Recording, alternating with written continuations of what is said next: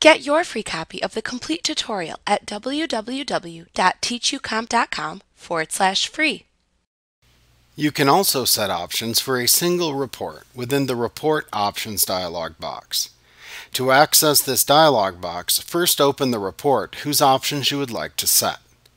Then select File and then Report Options from the menu bar to open the Report Options dialog box. You can then set the desired options which you wish to apply to only the selected report in the dialog box, and then click the OK button at the bottom of the dialog box to apply the selected report options. Note that if there are any report options that you do not understand, you can click the Help button within the Report Options dialog box located in the lower right corner to launch an associated help file that lists all of the available report options in a separate window.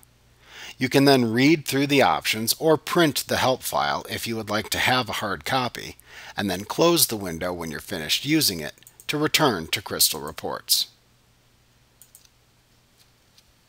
Like what you see? Pick up your free copy of the complete tutorial at www.teachucomp.com forward slash free.